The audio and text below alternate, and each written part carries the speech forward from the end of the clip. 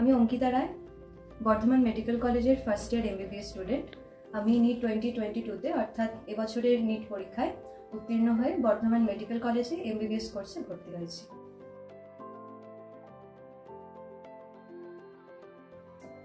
তাহলে এবার এমসিকিউ আমি কোন কোন বই থেকে করেছি সেটা তোমাদের সঙ্গে শেয়ার করছি। তো এইটা আচ্ছা এইটা আমি একটু পরে দেখাচ্ছি। এটা একটা ম্যাগাজিন রয়েছে। তো আমি একদম শুরুতে যে এমসিকিউ বইটা স্টার্ট করেছিলাম সেটা হচ্ছে এই যে master the NCERT for NEET একটা বই রয়ে গেছে। এটা হচ্ছে মাস্টার দ্য এনসিআরটি ঠিক আছে? Master the NCERT for NEET এটার ভলিউম ওয়ান ভলিউম টু রয়েছে। তো এই বইটা দিয়ে আমি শুরু করেছিলাম। এই বইটা ভালোই বইটা আমার বেশ ভালোই লেগেছিল। এটা চ্যাপ্টার ওয়াইজ কোয়েশ্চেন রয়েছে, এই দেখো। এই যে তোমরা দেখতে পাবে চ্যাপ্টার রয়েছে চ্যাপ্টার ওয়াইজ কোয়েশ্চেন রয়েছে, এবং সম্পূর্ণটা হচ্ছে এনসিআরটি বেসড তাই এনসিআরটিটা তোমাদের কতটা দখল হয়েছে সেটা জানার জন্য অবশ্যই এই বইটা করতে পারো। এটা হচ্ছে আরিহান পাবলিশারের বই ভলিউম ওয়ান ঠিক আছে?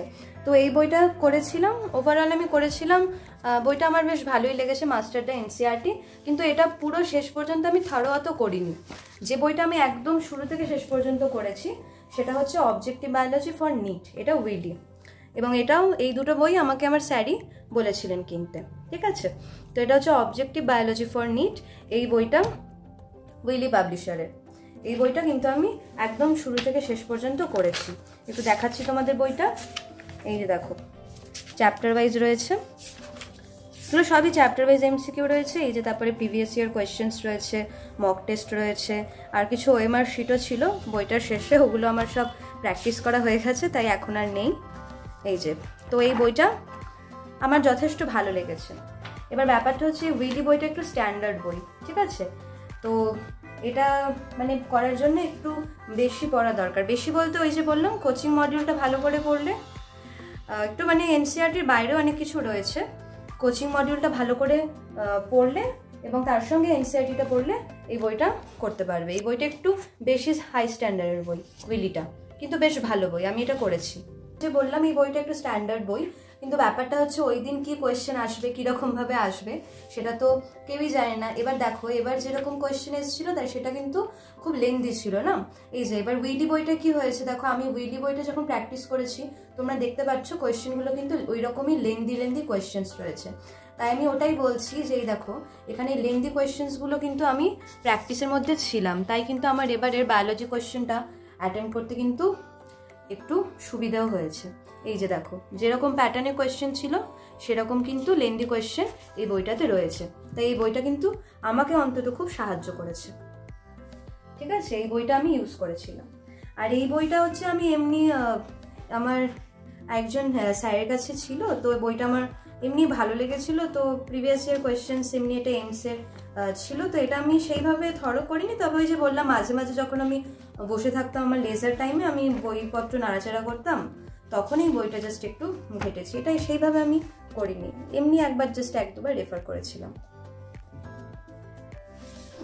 আর এই যে এই বইগুলো, এগুলো আমার নিজের কেনা নয়, এটাও আমি এক জায়গা থেকে নিয়ে এসেছিলাম মডার্ন সিটিসি তো এই বইটা আমি পড়িনি।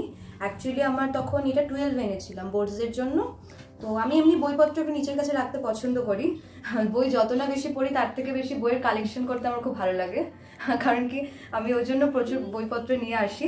আমার বাড়িতেও দেখবে প্রচুর বইপত্র রয়েছে। মানে সব বই হয়তো আমি পড়িনি, হয়তো একটু রেফারই করেছি, কিন্তু তা আমার বইপত্র নিজের কাছে রাখতেই ভালো লাগে। তাই এই বইটাও আমি ওই এক দুবার একটা দুটো চ্যাপ্টার জাস্ট একটু পড়েছিলাম, সেরকম সিরিয়াস করিনি আর এই বইটা অ্যাকচুয়ালি আমার বোর্ডস ছিল তো ওই বোর্ডসের জন্য যখন বড় কোয়েশ্চেন একটু লিখতে হচ্ছিল, মাঝে মাঝে দেখেছিলাম। এটা সেভাবে আমি করিনি। আর এই দুটো বই ওরকম এমসিকিউ সলভিংয়ের জন্য। যখন মনে হচ্ছিল ওই বইগুলো হয়েছে, এবার একটু নতুন নতুন এমসিকিউ চাই, তো তার জন্য এই বইগুলো, এই বইটা এনেছিলাম। তো এই বই থেকে কিছু কিছু সিলেক্টেড চ্যাপ্টার আমি করেছি। কিন্তু মোটামুটি দেখলাম যে একই রকম লেভেলের কোয়েশ্চেন তাই আর এই বইটাতে অত আর টাইম ইনভেস্ট করিনি। আর আরও দুটো বই আমি এমসিকিউ সলভ করার জন্য ইউজ করেছিলাম। তো সেই বই দুটো এই মুহূর্তে আমার কাছে নেই, কিন্তু ওই বই দুটো কিন্তু আমি থারো প্র্যাকটিস করেছিলাম। আর ওই বইটাতে কি আছে যে ওই স্টেটমেন্ট রিজন যে কোয়েশ্চেন্সগুলো সেগুলো কিন্তু বেশ ভালো করে রয়েছে চ্যাপ্টার ওয়াইজ আর ওই বইটা হচ্ছে সেন গেজের objective biology Cengage objective biology এবং আমি সেনগেজের ফিজিক্সের বইটাও করেছিলাম, তো সেটা আমি পরে বলব, ওটা কোনোদিন ডিসকাস করব। কিন্তু এই সেনগেজের যে অবজেক্টিভ বায়োলজি বইটা আমার সত্যি খুব ভালো লেগেছে এবং ওই বইটা আমি প্র্যাকটিস করেছি, ওটা থরো প্র্যাকটিস করেছি ইলেভেন টুয়েলভে দুটো ভলিউম হয় সেপারেট তো ওই বই দুটো কিন্তু সত্যি খুব ভালো। এবং যেটা হয়, শেষের দিকে আমি যেটা করেছিলাম যে সেনগেজ অবজেক্টিভ বায়োলজির শেষের দিকে, প্রত্যেকটা চ্যাপ্টারের শেষে প্রিভিয়াস এর কোয়েশ্চেন্স তো রয়েছে, ওগুলো তো প্র্যাকটিস অবশ্যই করেছি। তার সাথে হচ্ছে স্টেটমেন্ট রিজনের যে কোয়েশ্চেনগুলো থাকে অ্যাসারশন রিজনিং স্টেটমেন্ট বেস যে কোয়েশ্চেন্সগুলো রয়েছে, ওগুলো কিন্তু খুব ভালোভাবে রয়েছে। তো ওগুলো আমি প্র্যাকটিস করেছিলাম এবং সেটা শেষের দিকে করেছিলাম। পরীক্ষার বেশ কিছুদিন আগে। আর এটা হচ্ছে এমটিজি ম্যাগাজিন তোমরা অনেকেই শুনেছো হয়তো। তো ওই ম্যাগাজিনটা আমি টুয়েলভের মাঝামাঝি টাইমে কিনেছিলাম। কিন্তু তখন তো পুরো ধরো সিলেবাস শেষ হয়নি। তাই আমি সেরকম প্র্যাকটিস করতে পারিনি। একটু যে চ্যাপ্টার্সগুলো হয়েছিল সেই রিলেটেড কিছু থাকলে আমি একটু সেখান থেকে কোয়েশ্চেন্স তারপরে চ্যাপ্টারের কিছু এরকম থাকে, অল্প করে চ্যাপ্টার নিয়ে বলা থাকে, সেগুলো আমি করতাম। কিন্তু তারপরে যখন সিলেবাস শেষ হয়ে গেছিল, তখন ধরো অনেক এমসিকিউ প্র্যাকটিস করার যখন সময় তো এই যে বইগুলো আমি তো এমসিকিউ করেছি, আর যখন টাইম পেতাম আমি এই বইটা থেকেও আমি এমসিকিউ প্র্যাকটিস করতাম। এটা ম্যাগজিন অ্যাকচুয়ালি আমার অভিজ্ঞতা তোমাদের সাথে শেয়ার করলাম।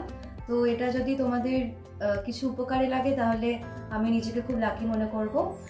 তো ব্যাপারটা হচ্ছে এই নিটের জার্নিটা সত্যি খুব কঠিন জার্নি প্রচুর কম্পিটিশন লক্ষ লক্ষ পরীক্ষার্থী এই এক্সামটার জন্যই তপস্যা করছে। তো তার মধ্যে তোমরাও একজন, এবং আমিও কিছুদিন আগে সেই তারই অংশ ছিলাম, এবং সকলের আশীর্বাদেও ভালোবাসায় আজকে এই জায়গাটা আমি পৌঁছতে পেরেছি। আমার মনের মতো কলেজে আমি এমবিবিএস পড়ার সুযোগ পেয়েছি। তাই একটা কথাই বলব যে কনফিডেন্স এবং নিজের জেদ থাকাটা খুব জরুরি। তো যতক্ষণ না পরীক্ষা হচ্ছে এবং যতক্ষণ না তোমরা এক্সাম হল থেকে বেরোচ্ছ, একটা জিনিসই মাথায় রাখবে যে আমি পারব। মানে কখনোই যেন এটা মাথায় না আসে যে আমার দ্বারা হবে না। এটা আমি বলছি হয়তো আমারও অনেক সময় এরকম এসেছে সিচুয়েশন তখন আমি মা বাবাকে আমার পাশে পেয়েছি। তারা আমাকে শেষ দিন পর্যন্ত সাহস দিয়ে গেছেন এবং একটা কথাই বলেছেন যে চেষ্টা করে যাও এবং সৎভাবে চেষ্টা করে যাও, অবশ্যই তুমি সফল হবে। তো আমিও তোমাদের একটা কথাই বলব, তোমরা হাল ছাড়বে না, সবসময় লড়ে যাও এবং শেষ দিন পর্যন্ত লড়ে যাও, তোমরা অবশ্যই জয়ী হবে, তোমরা জিতবে। ধন্যবাদ তোমরা সবাই ভালো থেকো। আগামী ভিডিওতে তোমাদের সঙ্গে আবার দেখা হবে। তো বেস্ট উইশেস থ্যাংক ইউ